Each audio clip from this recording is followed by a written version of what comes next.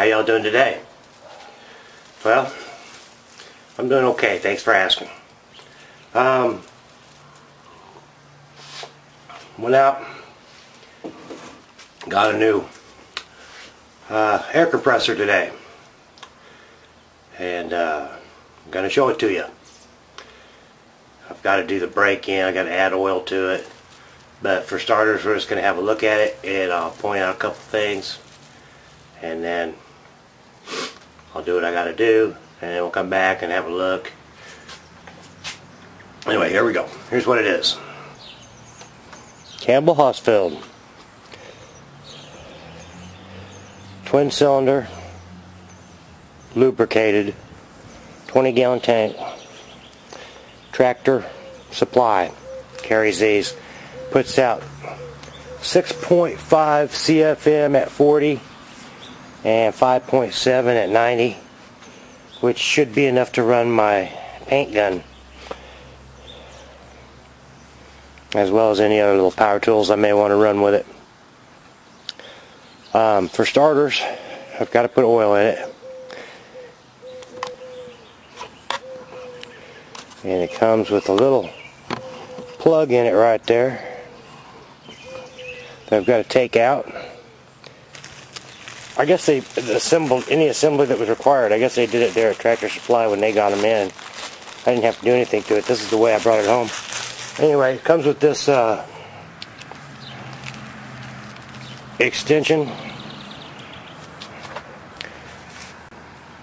setup for the uh, oil drain, which is right here, which will make it nice when you drain it. It won't be running down the side of the tank. Take the filler plug out and put this in there, which is, I'd say that's a one-way check ball. You can almost see in there what that is, but you can't really. But it's, I'm imagining that's a one-way check ball. Anyway, that goes in the breather hole where the oil goes. So I'm going to set that stuff up. It takes 8.5 ounces of compressor oil.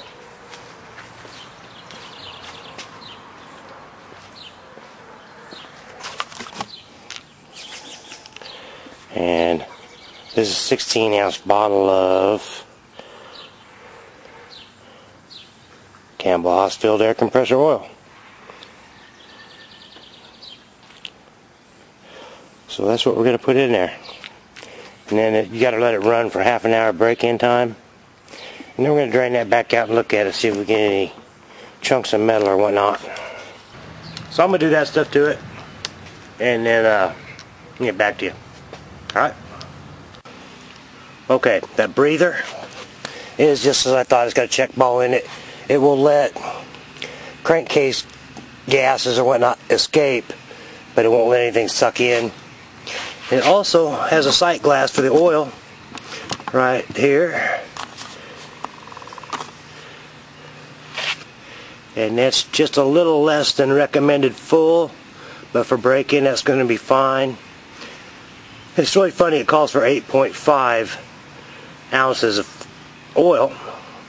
And they know you've got to break it in and drain that right out, and then fill it back up and they sell the oil in 16 ounce bottles so you don't have enough. You almost have to buy two of them so by not topping that off completely I should have enough left over to fill that all the way when we're done. So anyway next step is to uh, open the drain cock on the bottom which I've already done that make sure there's nothing in there and plug it in and let it run for half an hour so I'm going to do that.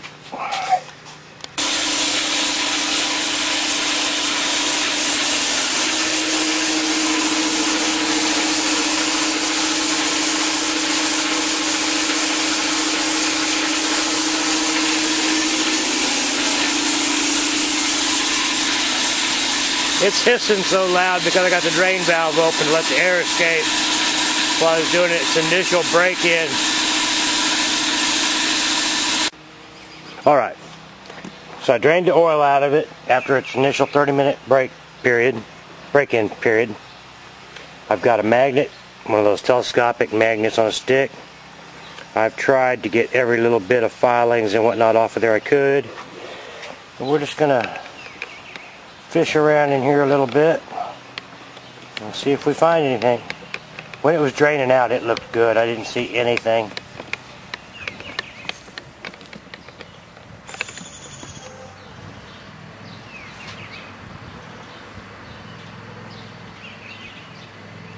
I think you can see it's a little bit dark. But that's probably not unusual for a 30 minute run in a brand new machine. Anyway, I'm going to put some new oil back in it and uh, shut the drain and the regulator so it'll actually build up power and make sure it shuts off as it's supposed to. But yeah, I'm very pleased with that. I see a little bit of gunk on there, but that's why you do a break-in. Anyway, there's no big chunks of anything. So yay. I've got a 25 foot length of hose I got from Harbor Freight some time ago and never have used yet. So I've got it plumbed up with quick connects on both ends. The female and the male is over there. And I've got a female for the compressor itself. That was actually a good deal. They had these in a box at Tractor Supply. And they were, you know, they sell them in kits with these and four males for like nine bucks. These were like three bucks and the males were like a dollar sixty-nine. So I got a handful of those. That way I'll always have the same size and they'll fit right. Because they are not all created equal. Alright. Alright. Let's have a look at this air filter while we're investigating and looking at things. Oh, nice paper. Okay. Pretty straightforward and self-explanatory.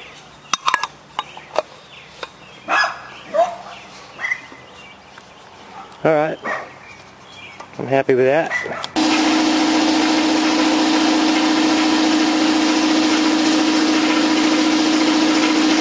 Seems relatively quiet.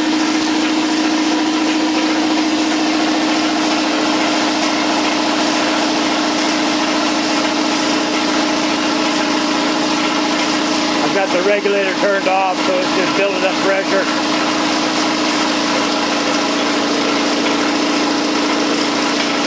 It's almost at 50 in about a minute.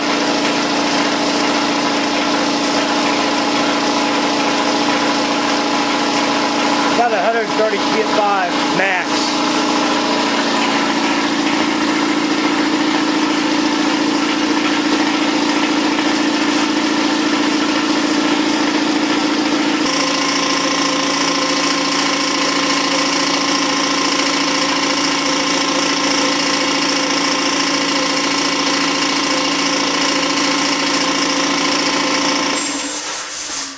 Alright, 135 in 5 minutes. Cool. Okay. I've hooked up a blowgun to it and opened the regulator. I hear a small leak somewhere. I'm going to have to chase that down with a bottle of water here in a little bit. But we're going to do a blow-off test now see where it kicks back on at.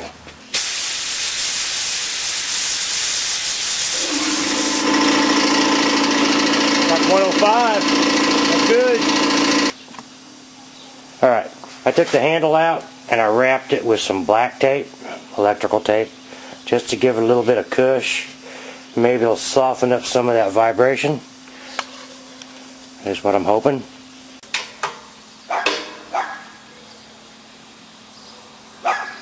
Oh, it's not going to turn back on because it's got enough pressure on it.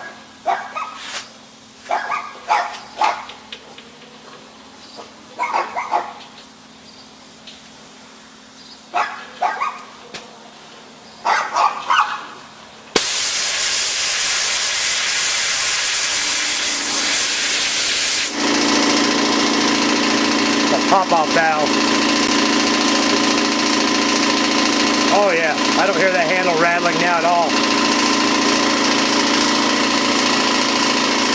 Good deal. Alright, I gotta track down that leak, but other than that I think we're in good shape. Okay, I went in the house and got a little bit of dish soap and a little bit of water and a little bitty paintbrush from my art supplies and came out here and just started dabbing it around all the plumbing fittings and this is what I found. You see that? See those bubbles? And you may be able to hear it too, I don't know. Anyway, that's where my leak is. Let me check the rest of them while I'm at it.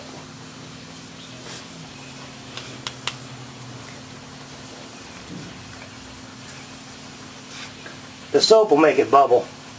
The water just make it hiss. You guys probably knew that though, didn't you? Yeah, I'd say that's the only place. So, anyway, I'm going to turn it off, drain the air out of it, and take that apart. Make sure they put Teflon tape on that before they assembled it. And then put it back together, and it should be good to go. Every Campbell Hausfeld uh, air compressor I've ever had leaked. So every time I went to use them, I have to let them pump up first. I do not want to go through that with this one. If it has air in it and I know I'm coming right back in an hour or two or whatever, I want there to be pressure in there. So I'm going to fix that and then uh, should be all set. I don't know if you can see those bubbles right in there. That's because that soap and water are still there and it's leaking right there.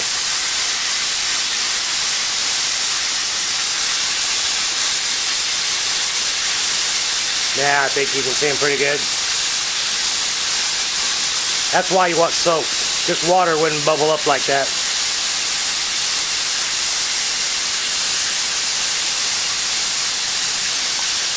Oh yeah. Be sure to drain all the air out of it before you start unscrewing anything. If there's even a little bit of pressure in there, when you get to the end of your threads, it's going to blow it out on you. May ruin your threads, may hurt you. Yep. Where you at? Just as I thought.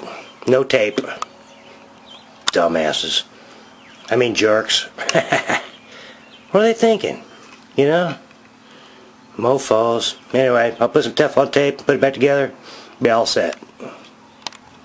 Alright. We are completely pumped up at 100 and... Yeah, it looks like 130 pounds. Um, not a sound. Just that one joint was, they didn't put tape on it.